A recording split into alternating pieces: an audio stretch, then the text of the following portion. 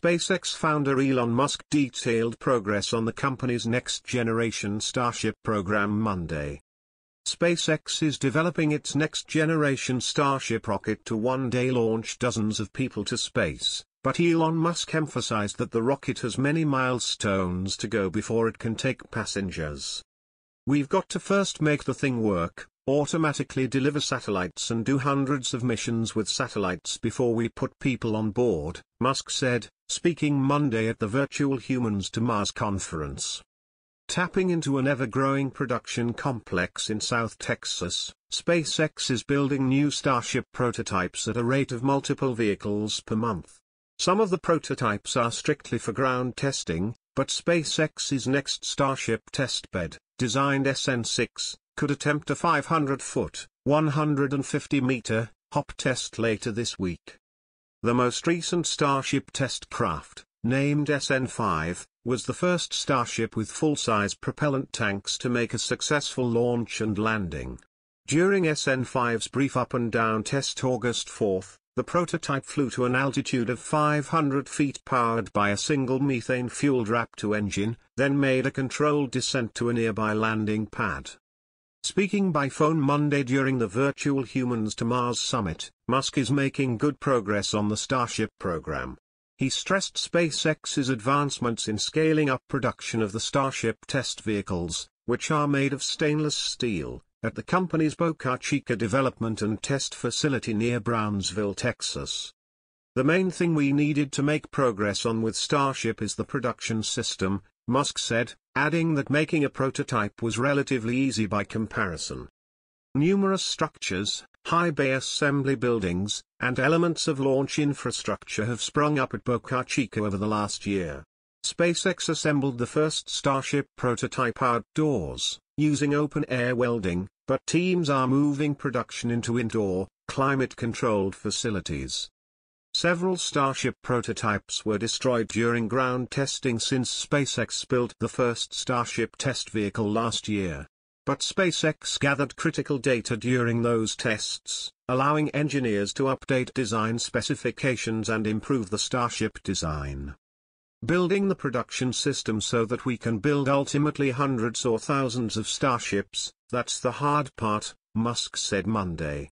But we've been making good progress on the production system as people can see from the aerial photos of Boca Chica.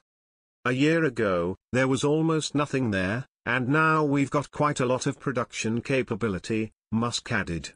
We're rapidly making more and more ships, and we'll be starting production of the booster soon.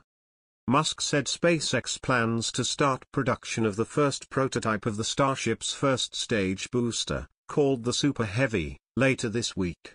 Starship is central to the vision of Elon Musk, SpaceX's billionaire founder, who established the company with a mission of sending people to Mars. Future starships could cruise to Mars with up to 100 people, Musk says.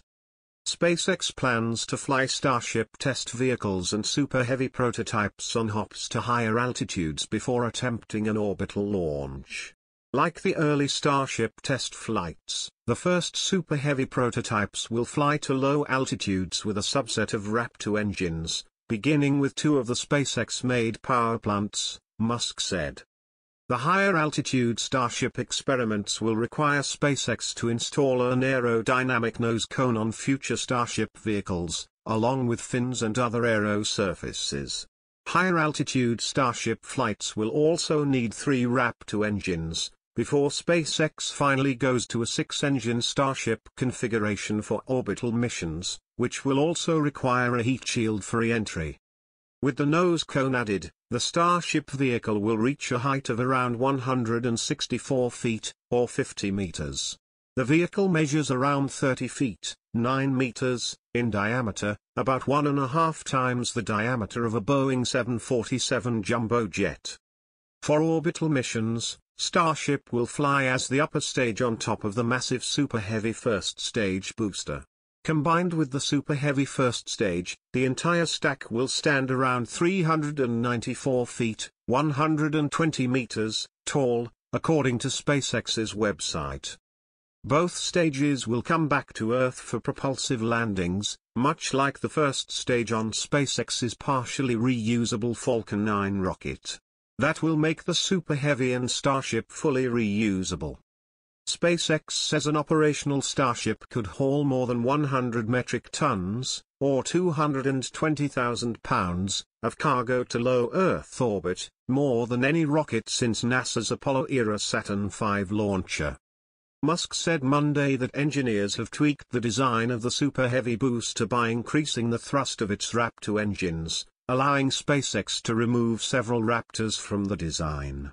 It's the latest in a series of design adjustments made since Musk unveiled the giant rocket program in 2016, when it was named the BFR. Musk previously said the Super Heavy booster would have more than 30 methane-fueled Raptor engines, but Musk said Monday SpaceX is trying to simplify the configuration. So it might be 28 engines, Musk said. That's still a lot of engines. We'll also end up cranking up the thrust on the engines. An outer ring of engines on the Super Heavy booster will have fixed nozzles, while an inner group of eight Raptors will vector their thrust to steer the rocket during takeoff and landing.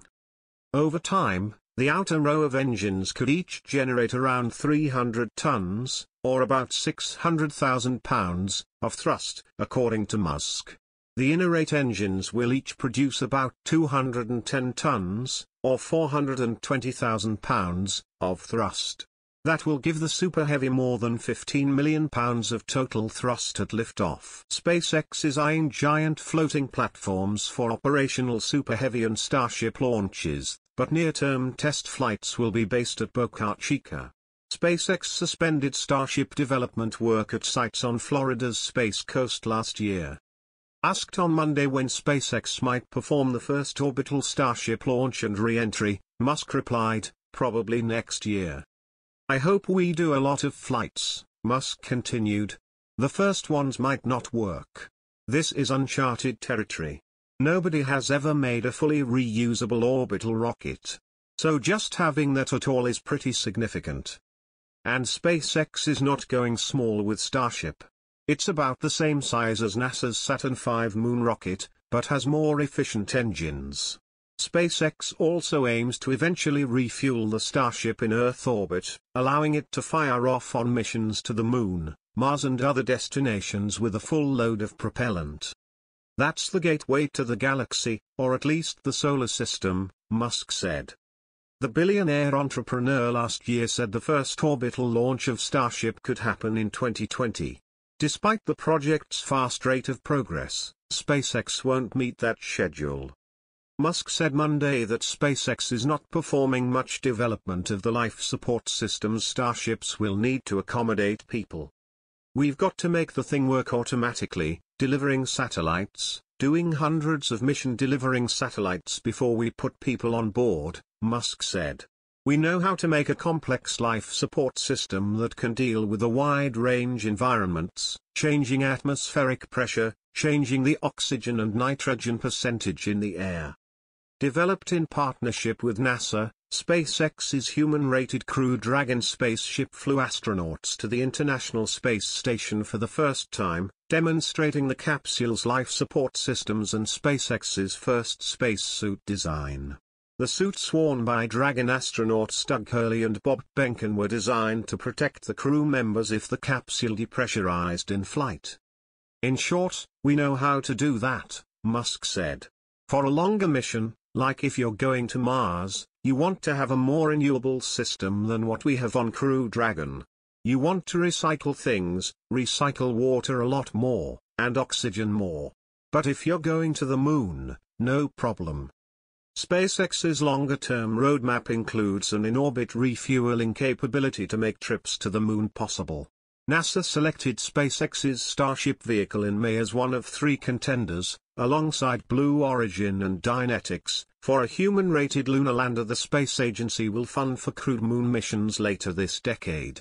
Under the planned architecture for NASA's Artemis moon landing program, astronauts will launch from Earth on top of the government-owned Space Launch System Heavy Lift rocket and Orion crew capsule. A human-rated lander will launch separately on a commercial rocket, then fly to the moon and await the docking of the Orion crew in lunar orbit. Astronauts will float into the lunar lander and descend to the moon's surface, perform experiments and spacewalks, then take off to head back to the Orion capsule, which will bring the crew back to Earth.